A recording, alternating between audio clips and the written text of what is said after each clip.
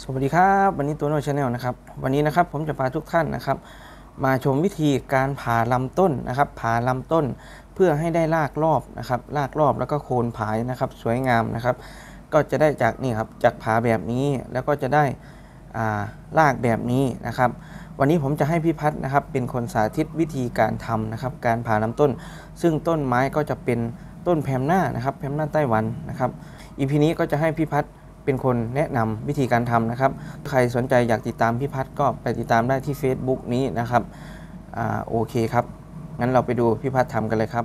โอเคครับผมขั้นตอนการผ่าโคนเพมหน้าทำาสร้างรากรากรอบ มาดูกันเลยครับผม ขั้นตอนขั้นตอนแรก เลือกกิ่งเพมหน้า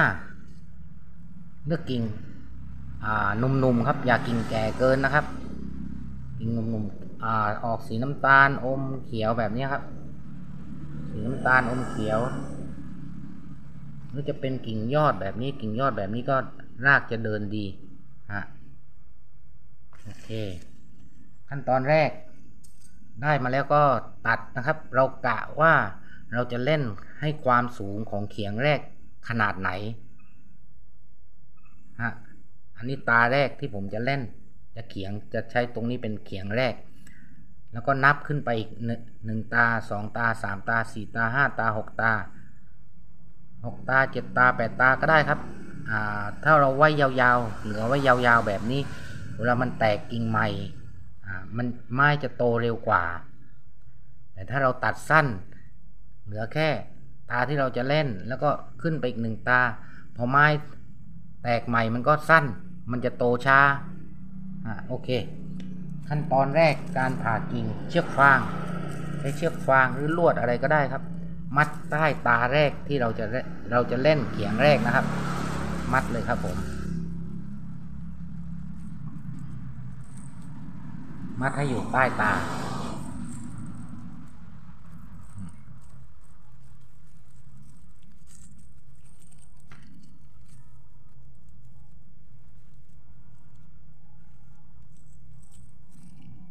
โอเค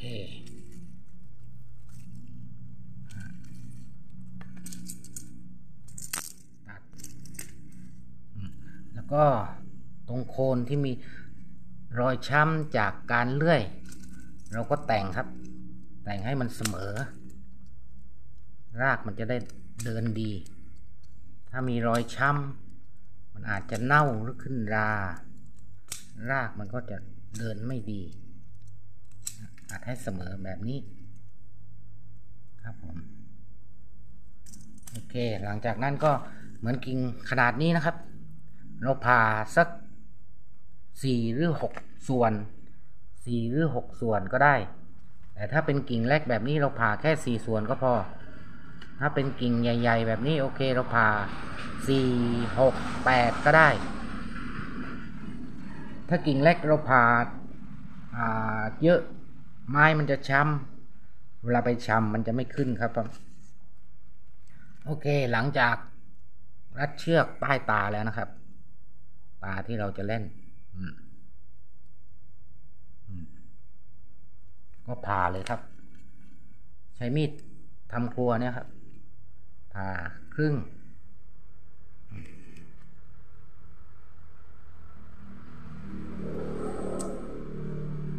ครับ ผ่าครึ่งสองส่วน ผ่าอีกครั้งหนึ่ง อ่าเป็นสี่ส่วน ครับผมสี่ส่วน หลังจากนั้นเอากิ่งเนี่ยครับ กิ่งย่อยของเพมหน้าเนี่ยครับ มาขั้นกลาง ขั้นกลางรอยผ่าฮะขั้นกลางรอยผ่า เพื่อมันจะได้าบานออกโคนมันจะบาน โคนจะผายออกแค่นี้ครับ โอเคตัดทิ้งใส่ไปอีกให้มันบานออก ให้โคนมันผายออก ครับ แค่นี้ครับ ง่ายๆ โอเค กิ่งใหญ่กิ่งใหญ่ก็เหมือนกันครับ ผมจะเล่น ข้อตานี้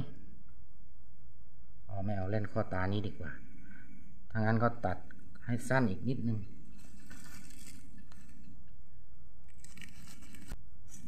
โอเค ได้มาแล้ว ปาด ให้เรียบ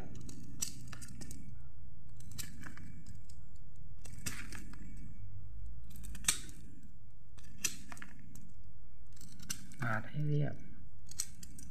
โอเค เรียบแล้ว ตานี้คือตาที่ผมจะเล่น จะใช้เป็นเขียงแรก แล้วก็เว้นไว้ เหลือไว้หนึ่งตาสองตาสามตาสี่ตาโอเคใช้เชือกฟาง มัดใต้ตา ใต้ตา แรก ที่เราจะเล่นใช้เป็นเขียงแรก ที่เราใช้เชือกรัดเพื่อป้องกัน ไม่ให้กิ่ง รอยผ่า ไม่ให้รอยผ่า มันปริขึ้นไปถึง เวลาเราผ่า รอยปีมันจะได้ขึ้นมาไม่ถึงข้อตาแรกที่เราจะเล่นที่เราจะใช้เป็นเขียงแรก โอเคผ่า อันนี้ขนาดใหญ่ผ่าได้สักหกหรือแปด เริ่มจากสี่ก่อนครับสี่ส่วนสี่ส่วน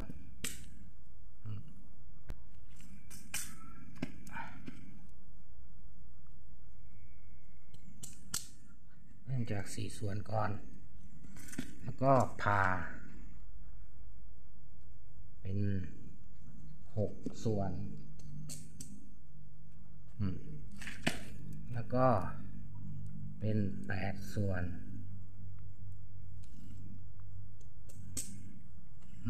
โอเค ได้แปดส่วน เหมือนเดิมครับ ใช้กิ่งย่อยของกิ่งเพมหน้าเนี้ยครับ กิ่งเพมหน้าหรือกิ่งอะไรก็ได้ครับไม่ อันนี้ไม่สำคัญ แค่ใช้เป็นตัวขั้นไว้ อัดเข้าไป อัดเข้าไปให้มันบาน ให้มันปิอืมโอเค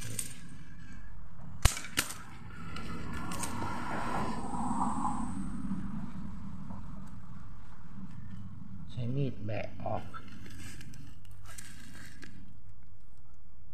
อัดเข้าไประ วังมือ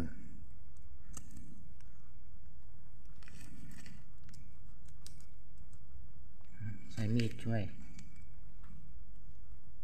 แบะหน่อยหน่อย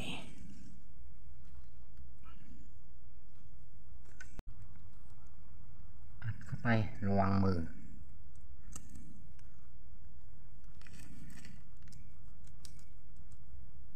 ใช้มีดช่วย แบะหน่อยหน่อยโอเคสีแล้ว ต่อไป ตัวนี้ครับใช้ส่วนขนาดเล็กๆหน่อยกิ่งมันจะได้ไม่ช้ำเกินไป อัด เข้าไป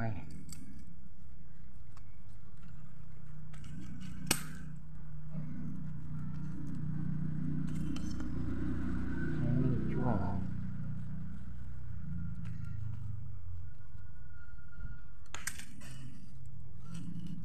โอเค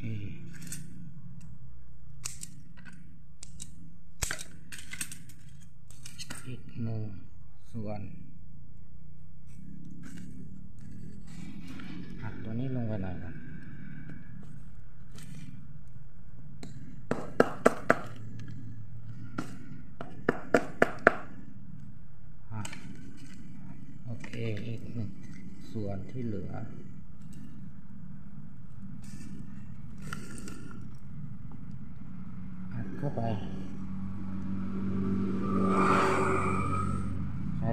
เล็กหน่อย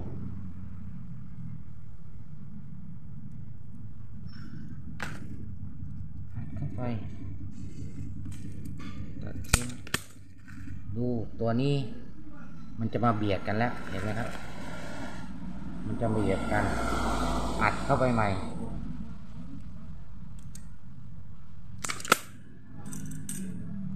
ให้มันแยกออกจากกัน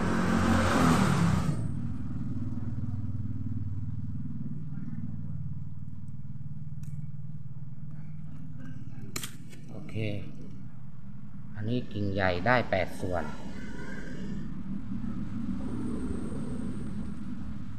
กิ่งเล็กกิ่งอันนี้กิ่งยอดแบบนี้ารากจะเดินดี เหมือนเดิมครับ ปาดให้เสมอปาดให้เสมอ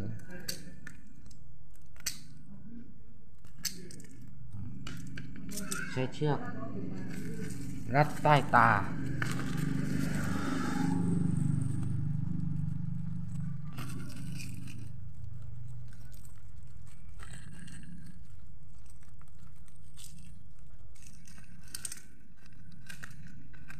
ครับ เชือกรัดใต้ตา ผ่าอันนี้ผ่าเป็นสี่ส่วนพอ เยอะเกินไม้จะช้ำครับครับ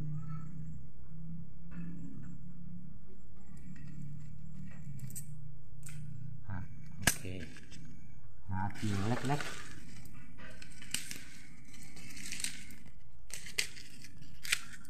หากิ่งเล็กๆ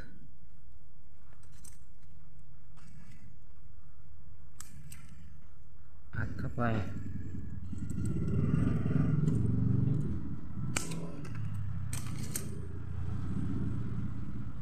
อัดเข้าไป ครับ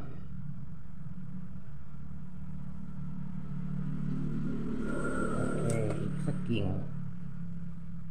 นี่ผมจะเล่นตานี้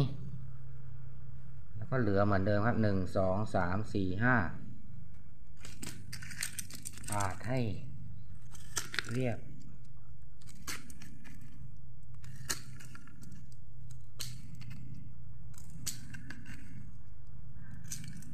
โอเค ให้เชือก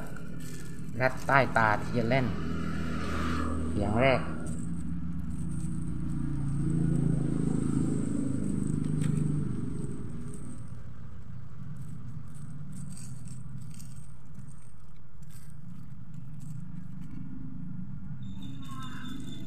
โอเค สำหรับเชือกที่มัดสักอาอาทิตย์สองอาทิตย์ดูพอ มันจะเริ่มอม มันจะเริ่มอมเชือกเราก็เอาออก รอแค่ รอให้แผลตัวนี้ครับ แผลตัวนี้ มันเริ่มรักษาตัวเองเราก็เชือกออกได้ ถ้าปล่อยไว้นานมันก็จะอมมันจะบวม บวมตรงรอยที่เรารัดเชือกเนี่ยครับ โอเคพาระวังมือหนึ่งอันนี้ผมจะผ่าหกส่วนอะจะผ่าหกส่วน ผ่าเฉียง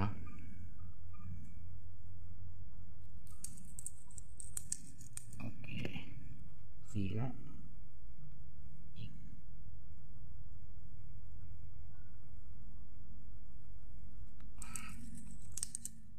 โอ เคส่วนเหมือนเดิมครับ ใช้กิ่งอัดเข้าไป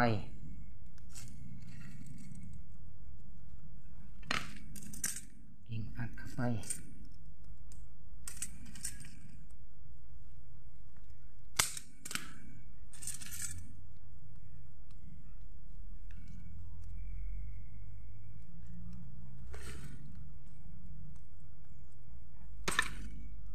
อัดเข้าไป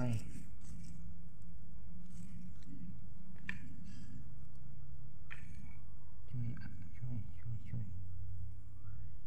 โอเค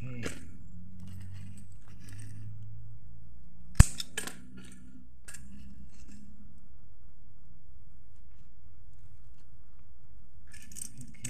อัดเข้าไป โ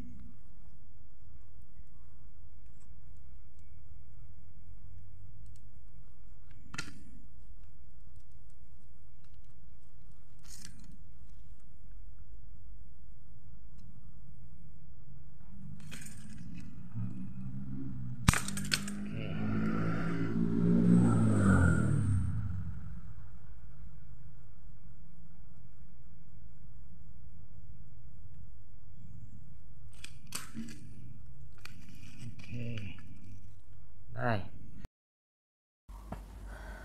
โอเคครับ หลังจากที่เราผ่าเสร็จเรียบร้อยนะครับ เราก็จะเอาไปลงดินนะครับ เพื่อล่อรากนะครับ ให้รากเขาออกนะครับรากออกมานะครับ เราก็จะได้รากแบบนี้เลยนะครับ คือสวยงามแล้วก็อนาคตต่อไปนะครับ ที่เป็นรอยผ่านะครับ พอเขาโตขึ้นเบ่งขึ้นลำต้นเบ่งขึ้น เขาก็จะแนบสนิทกันแล้วก็เกิดกลืนกันไปเองนะครับ ก็สวยงามทีเดียวนะครับ ก็ลองอเอาไปทำดูนะครับ น่าจะไม่มีอะไรซับซ้อนมากนะครับ ส่วนเครื่องปลูกหรือว่าอาตอนชำนะครับ ก็มีหลายเทคนิคนะครับที่คนอื่นที่ทำที่หลายท่านทำกันนะครับ ไม่ว่าจะเป็นชำทรายหรือว่าชำในดินนะครับในดินที่ดินชำทั่วไปนะครับ ดินแกลบดำอะไรพวกนั้นนะครับ ก็แล้วแต่คนนะครับก็ลองดูนะครับ หรืออ่าอีพีหน้าผมจะเอาอ่าสูตรดินที่พี่พัฒน์